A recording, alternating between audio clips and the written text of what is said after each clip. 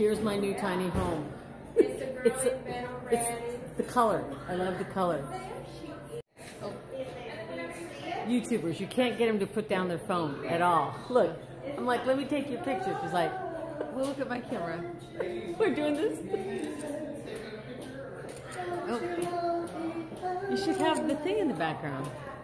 I think it's Just because we were talking about you having one, you- well, you guys can just share that one. She's like, Oh, you made two salads? this is our wonderful waitress who, Uh-oh. who talked me into this French martini. But uh, next time, I have sensory processing disorder, and that would be really great next time because we could close the curtains and all the noise wouldn't bother me. That is such a good idea. And then I wouldn't have to drink so much. Oh, I love that. I would love. No, no, no. We want you drinking more. Yeah, yeah, yeah. No, no, no, no. We want you to drink. What about A1? No, No, I'll I'll Look at this. Is what she took me out to dinner.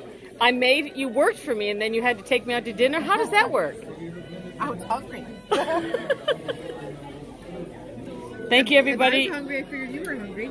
for the live stream, uh, getting through the live stream. Look at this shish kebab. This is healthy rice. Oh, very healthy. Yeah, very healthy. But I'll tell you what. Next time, this is the London Bridge Resort.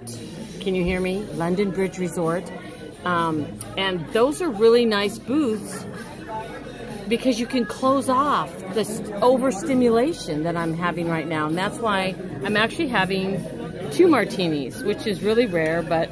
I do have a live stream tomorrow. I, didn't ask you. I just. I have a live stream tomorrow, so I'm preparing.